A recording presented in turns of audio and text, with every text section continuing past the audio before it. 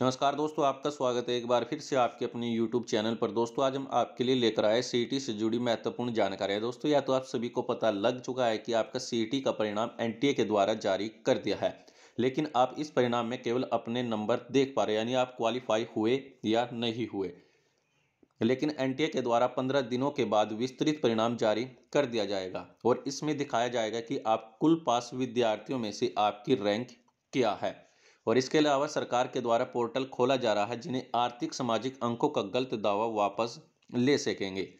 हरियाणा में group C के पदों के लिए हुई सीईटी की परीक्षा को आगामी पंद्रह दिनों के बाद विस्तृत परिणाम जारी कर दिया जाएगा। और साथ ही प्रत्येक अभ्यर्थी को उसकी रैंक बताई जाएगी कि वह कुल विद्यार्थियों में से किस रैंक पर है। यानी तीन लाख तिरपन हज़ार अभ्यर्थी पास हुए हैं और वे इनमें से किस रैंक पर है, यह भी आपका साइट पर दिखाया जाएगा, यानी विस्तृत परिणाम आपका बताया जाएगा। इसके अलावा हरियाणा कर्मचारी चयन आयोग ने अपना पोर्टल खोल दिया है और अभ्यर्थी अपना दावा वापस ले सकेंगे, जिन्होंने गलती से या फिर गलत तरीके से आपके सामाजिक, आर्थिक मानदंड के जो अंक लिए हैं, उनका वे दावा कर सकेंगे और जिनको गलती हुई है, वे अपनी वापस ले सकेंगे। एनटीए की ओर से जारी परिणाम अभी तक केवल संबंधित अभ्यर्थियों के अपने पंजीकरण और जन्म तिथि के आधार पर देख पा रहे हैं।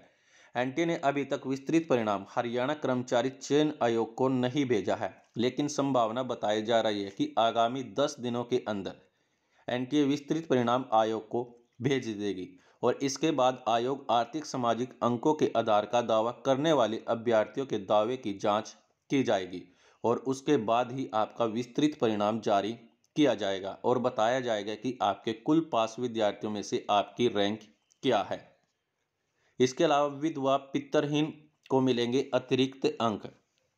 आर्थिक सामाजिक आधार के अंकों को लेकर आयोग ने साफ़ किया है कि विधवा और पितरहीन अभ्यर्थियों को पहले की तरह से आर्थिक सामाजिक आधार के अंक मिलेंगे।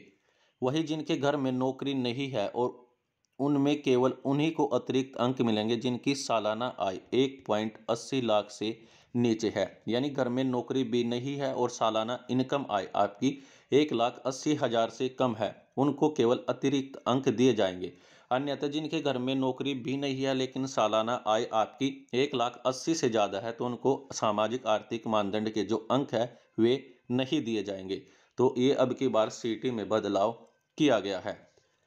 इसके अलावा पैंसठ हज़ार अभ्यर्थियों को एनटीए ने प्रोविजनल परिणाम जारी किया है। यानी इन अभ्यर्थियों को घबराने की ज़रूरत नहीं है, क्योंकि अभी तक इनका डाटा परिवार पहचान पत्र से मैच नहीं कर पाया।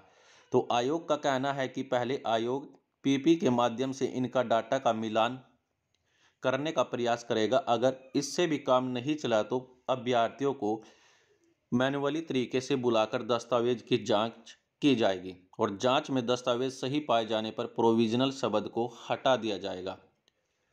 ऐसा भोपाल सिंह खदरी के द्वारा कहा गया है। तो दोस्तों यह थी आपकी सीटी से जुड़ी महत्वपूर्ण जानकारियाँ तो फ़िलहाल के लिए दोस्तों, आज के लिए इस वीडियो में इतना ही। वीडियो अच्छी लगे तो वीडियो को लाइक कीजिए, कमेंट कीजिए, शेयर कीजिए और सब्सक्राइब कीजिए हमारी साइंस को वीडियो देखने के लिए। आप सभी लोगों का धन्यवाद।